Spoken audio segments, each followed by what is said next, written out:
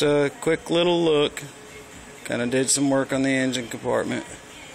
Um, that's not just some plain flat blue either. It's metallic and eight coats of clear.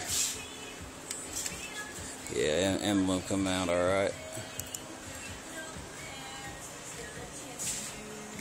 Of course, and we got the touch screen in there. Nice to good to go. Got the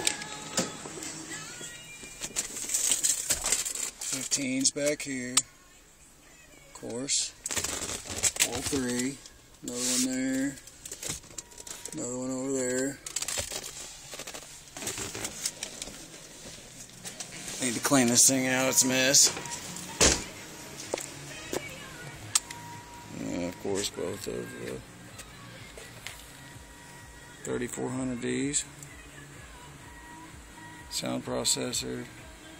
Extra battery, of course. There's another one under the seat. 40 farad cap right there. Um, does alright. The big alternators on it.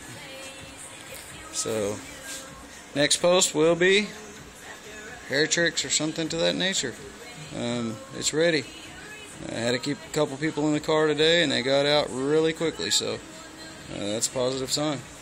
We'll uh, talk to you later. Thanks for watching. YouTube.